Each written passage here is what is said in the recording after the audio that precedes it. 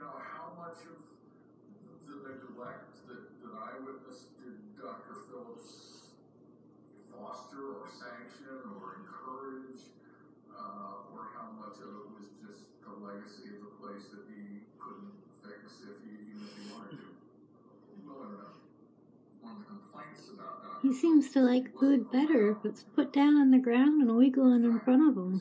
He doesn't like it so much in the bowl. jobs with the state health department. One is head of Brownsville, the other is, I think, the regional superintendent of health. Plus, he worked, um, he moonlighted at the Social a good boy, Corey? Twenty hours a week. Plus, you spoiled? Practice.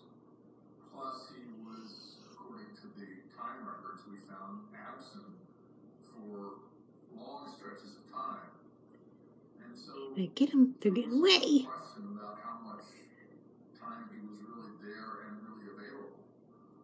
Um, his time card said that he came in on weekends and then Are he, you done? you know, put in his 40 hours or whatever it was a week, but uh, certainly other other hospital administrations said, oh, Dr. Phillips isn't here.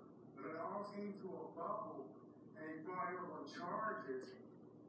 He had a heart attack. Dr. Phillips had a heart attack, and the doctor said the trial would kill him. It was all flushed under the head, nothing was done. He faked it. He faked it. He had to get a trial for all the atrocities that I didn't want to him. Are you gonna do anything? You're just gonna sit there. Convened uh, an investigation with the blessing of the governor, and they held hearings.